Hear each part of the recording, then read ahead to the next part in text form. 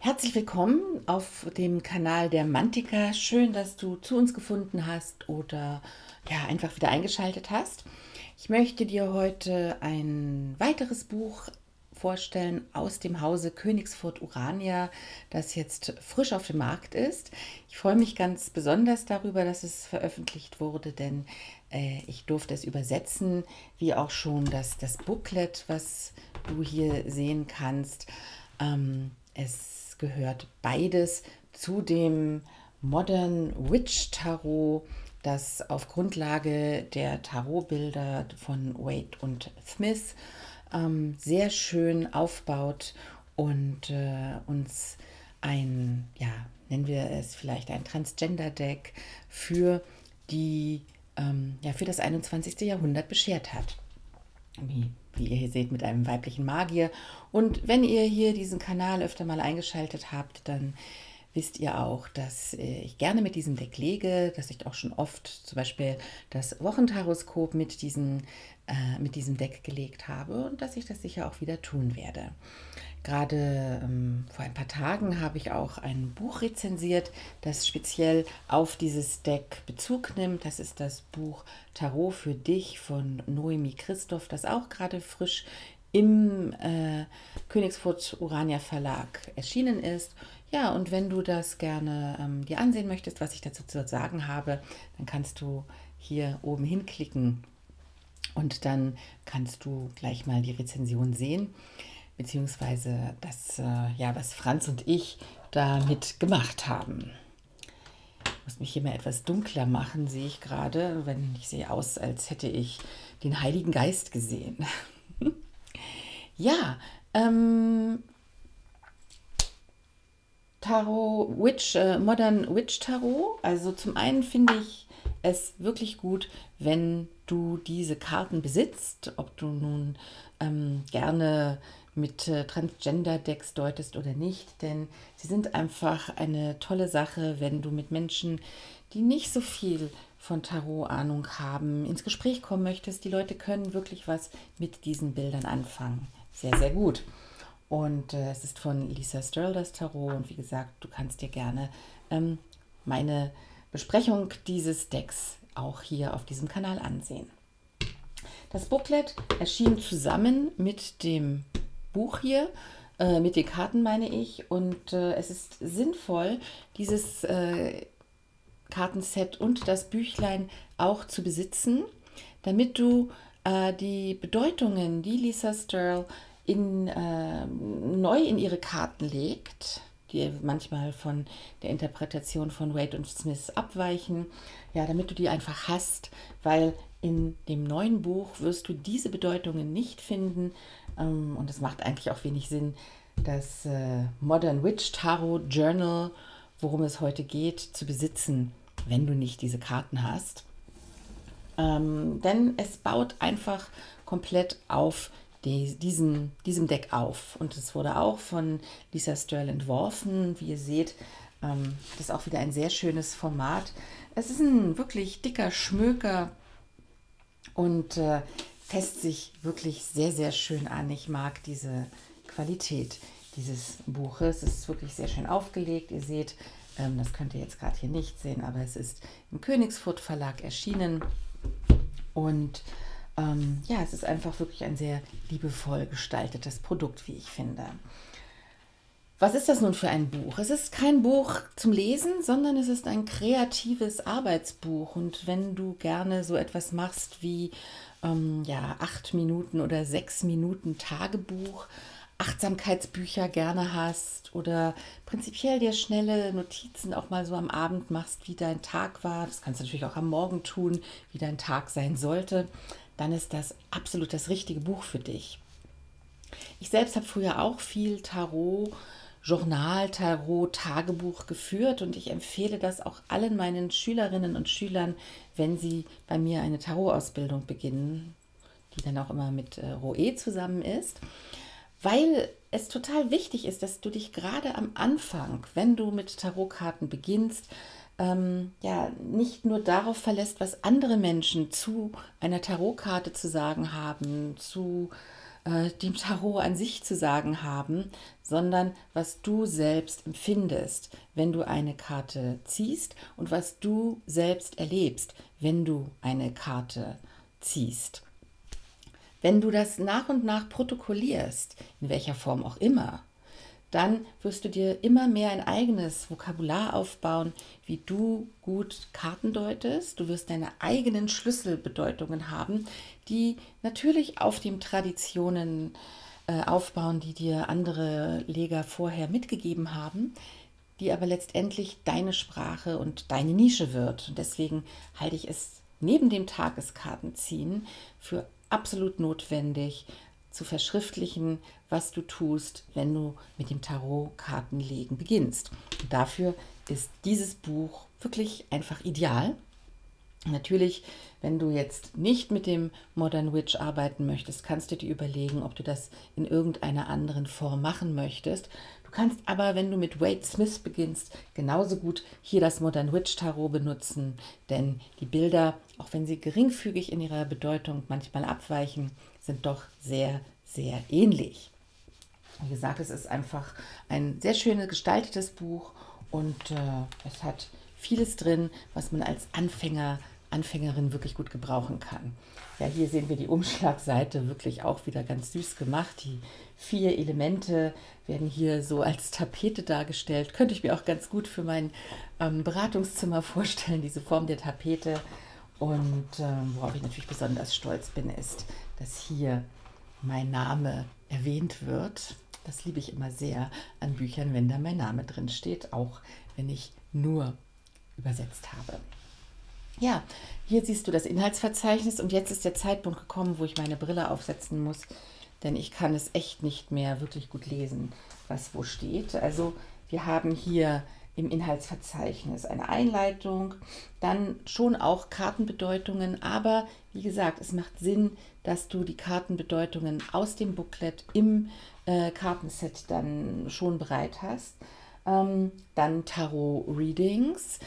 Tarot-Readings. Tarot-Readings ist der neue Ausdruck für Tarot. Karten, Deutungen, Interpretationen oder Sessions oder ja, Legungen oder Sittings. Also dazu komme ich gleich, wenn wir hier durch das Buch wandern. Dann haben wir die Tarot Spreads. Das ist natürlich auch Tarot-Legesysteme auf Deutsch, aber es ist natürlich more fashionable, es auf Englisch auszusprechen äh, oder zu schreiben. Dann haben wir Tarot-Decks. Ne? Das sind die verschiedenen Kartendecks, die es an sich gibt. Literatur, Online-Quellen und Tarot-Zirkel. Und die Tarot-Zirkel, das sind vielleicht das, was wir hier in Hamburg zum Beispiel als den Karten- und Astrologie-Stammtisch bezeichnen, der schon über 20 Jahre hier aktiv ist. Nein, das stimmt nicht. Fast 20 Jahre, 18 Jahre aktiv ist. Ja, gerade leider nicht so aktiv.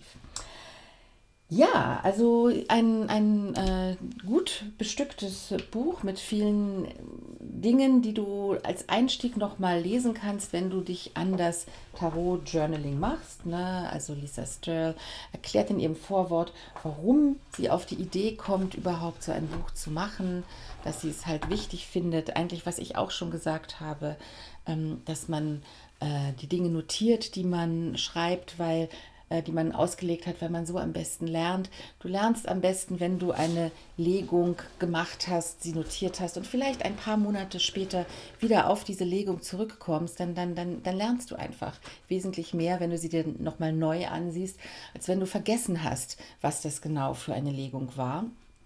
Und äh, ja, du, du, du lernst auch dadurch, dass du dir Fragen aufschreiben kannst, wenn, bevor du Karten auslegst, weil wir dazu tendieren, wenn wir eine Frage nicht aufgeschrieben haben und uns dann das Ergebnis der Karten nicht passt, die Frage vergessen zu haben. Das passiert auch öfter.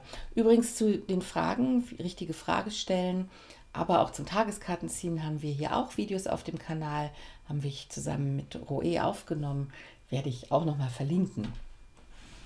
Ja, also in der Einleitung, wie gesagt, wird beschrieben ähm, ihre Haltung zum Kartenlegen, ihre persönliche Ethik, ihr, äh, ihre Vorgehensweise, wie man durch das Buch geht. Und wie du siehst, hat sie auch wieder coole Zeichnungen beigesteuert, die gar nicht ähm, jetzt mit dem Kartendeck an sich zu tun haben. Aber sie hat wirklich einen sehr, sehr schönen Kartenstil. Und auch hier wird dann immer wieder in die ähm, einzelnen, auf die einzelnen Seiten werden Bilder aus ihrem Deck eingestreut. Hier sehen wir den König oder ja, die, die, die non-binäre königliche Gestalt der, ähm, der Kelche und hier den, die Pagin der Stäbe ähm, unter anderem. Also wirklich äh, sehr liebevoll gemacht. Jetzt habe ich meine Brille wieder abgenommen. Es wird hier ein Hin und Her geben.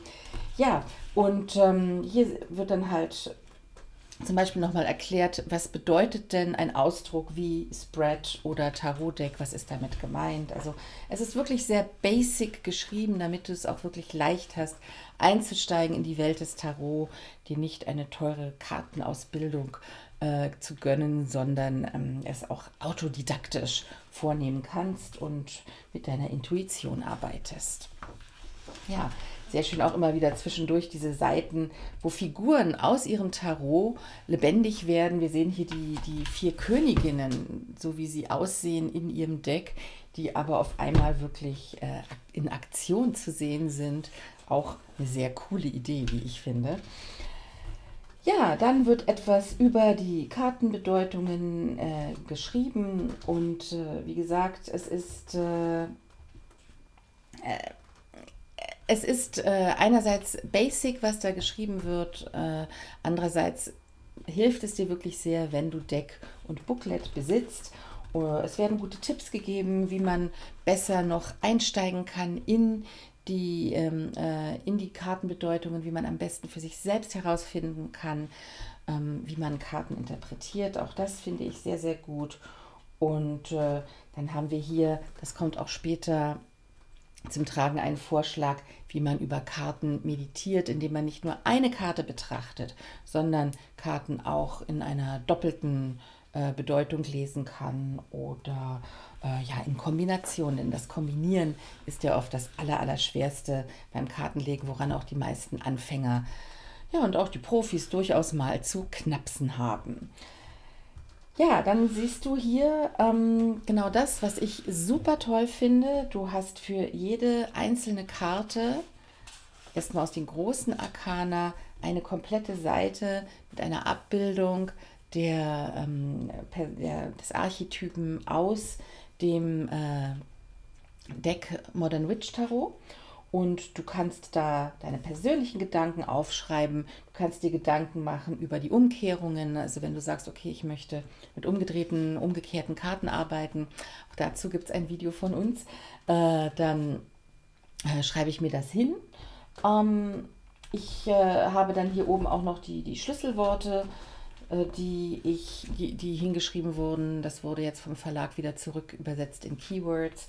Und äh, dann haben wir Korrespondenzen. Korrespondenzen, das äh, kann sowas sein wie eine astrologische Verbindung oder eine Verbindung zu Runen oder eine Verbindung zu Orakelkarten. Also da gibt es ja ganz unterschiedliche Methoden.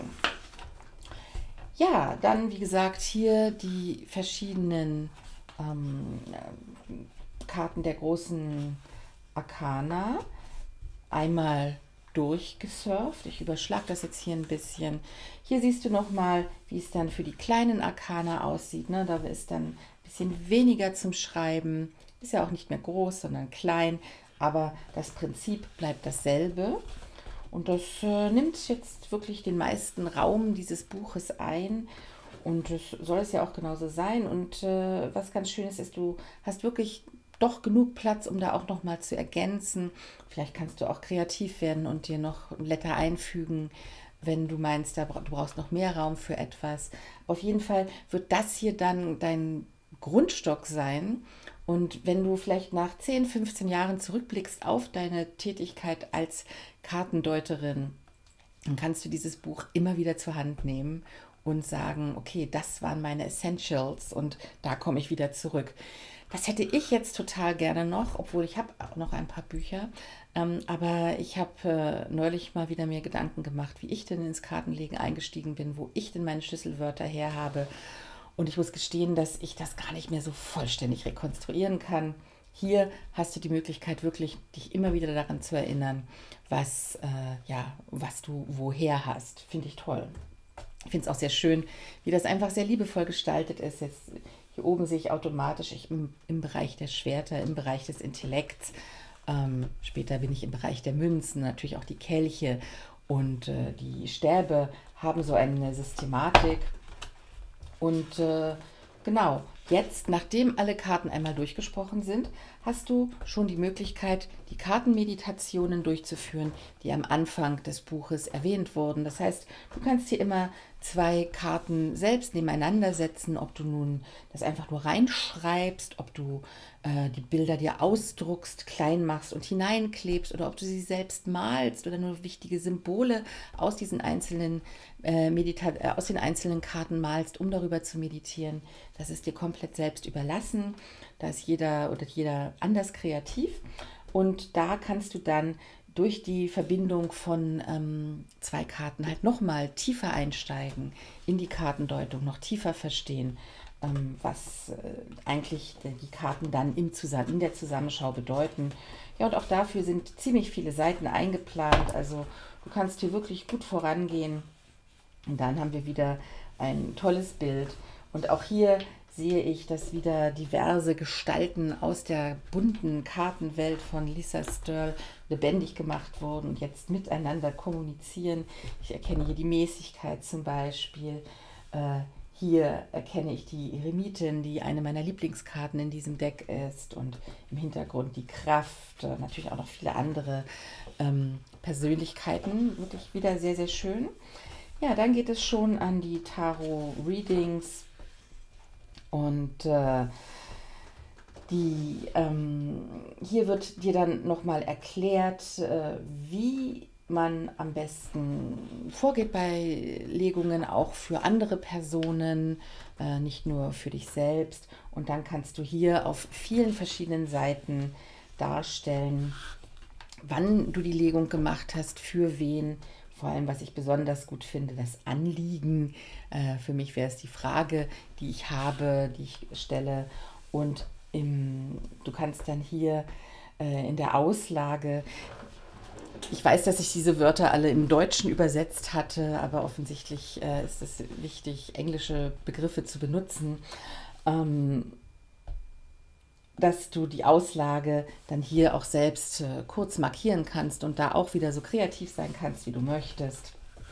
Also da hast du jede Menge. Und auch hier ist wieder ganz süß dieses Augensymbol, denn jetzt geht es ja tatsächlich ans Deuten bei diesen äh, Spreads, äh, Readings, Tarot, hat man gesagt, als ich angefangen habe, mich mit dem Kartenlegen zu beschäftigen. Und ähm, ja, äh, wie du siehst, reichlich Seiten, um das alles festzuhalten. Und das ist etwas, was ich, wie gesagt, wirklich allen Menschen, die sich mit Kartenlegen beschäftigen, am Anfang total ähm, ja, empfehle. Von daher finde ich das ausgezeichnet, dass dieses Buch so gestaltet ist.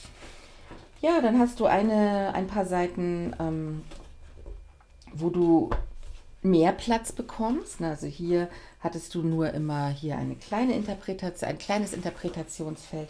Für größere, wichtigere Dinge hast du dann ein großes Interpretationsfeld. Das geht hier dann auch weiter. Und äh, dann beginnt eine neue Section. Und in dieser neuen Section kannst du dann ähm, noch etwas lernen, wie du deine eigenen Kartenauslagen oder Tarot-Spreads kreierst. Ähm, es werden dir ein paar eigene Tarot-Spreads vorgestellt, die du dann natürlich auch nachmachen kannst. Und hier kannst du dann für dich Spreads einzeichnen, die dich interessieren, die du selbst gemacht hast oder die du irgendwo aufschnappst. Äh, zum Beispiel hier auf meinem unserem Kanal, ähm, da stellen wir ja auch immer wieder Legungen vor und die kannst du dann in das Buch eintragen. Ja, und äh, das äh, geht so weiter. Du siehst, du kannst hier dann auch immer noch größere Spreads entwerfen. Du kannst auch immer die Quelle dir notieren, was natürlich sehr sinnvoll ist. Einerseits, damit du dich nicht mit fremden Federn schmückst, aber auch andererseits, um nochmal, wenn du es aus dem Internet hast, zum Beispiel wieder auf die Seite zurückzufinden. äh, oder natürlich das Buch auszugraben, aus dem du es hast. Ja, dann haben wir das äh, Thema Tarot Decks und du weißt ja vielleicht, dass es nicht nur das äh, Modern Witch Deck gibt, das die Karten von Wade und Smith neu interpretiert hat, sondern da gibt es unzählige Decks und es gibt viele Menschen, ich gehöre dazu, die Kartendecks sammeln. Ich werde auch immer, ich bin immer mehr dabei, zu Kickstarter zu gehen und da zu gucken, was gibt es denn da für tolle neue Decks. Die Community äh, hypt immer irgendwelche neuen Decks, die man dann auch gerne haben möchte. Dazu findest du ja auch hier auf dem Kanal reichlich Material für unsere Rezensionen von Decks, die wir uns gekauft haben. Ja, und du kannst hier halt wunderschön buchhalten darüber, welche Decks du hast. Das finde ich sehr nützlich. Ich habe da drüben in unserem Tarotschrank an die 400 Decks und ich müsste da echt mal äh, mit Karteikarten oder sonst was arbeiten. Und hier kann ich das einfach in das Buch eintragen. Ja, und du kannst dir hier auch eintragen, dafür sind diese Kästchen da, welches Buch du hast, welches Buch du gerne haben möchtest, welches Buch du schon bestellt hast. Und das kommt einfach nicht an, weil äh, irgendein äh, Vertrieb wieder mal ein bisschen schläft. Vorbestellungen kannst du dir notieren. Also das finde ich auch sehr, sehr praktisch. Was gibt es noch? Ähm, genau, hier kannst du dann nochmal das, das Interview mit deinem Kartendeck machen. Das ist eine Karten, ähm, ein Kartenspread, ähm, mit dem du halt in den Dialog gehst mit den ähm, dem neuen Deck, das du hast. Und das erzählt dir dann, wozu du dieses Deck besonders gut gebrauchen kannst. Das ist eine Legung, die ich auch mal vorstellen werde. Fällt mir ein, das ist eigentlich eine schöne Legung. Ähm, dann gibt es hier einen Paragraphen zur Literatur. Auch hier kannst du dir dann vormerken, welche sind deine Lieblingsbücher, welche sind deine Lieblingstarot-Kanäle, welches äh, sind die Menschen, die du spannend findest in Sachen Tarot und dir alles notieren, was dir dazu einfällt. Dann haben wir, oh, das habe ich falsch gesehen, also das war nur für die Bücher. Ne? Und jetzt habe ich noch die Online-Quellen und auch da kannst du dir dann reichlich Notizen machen, wo du was her hast.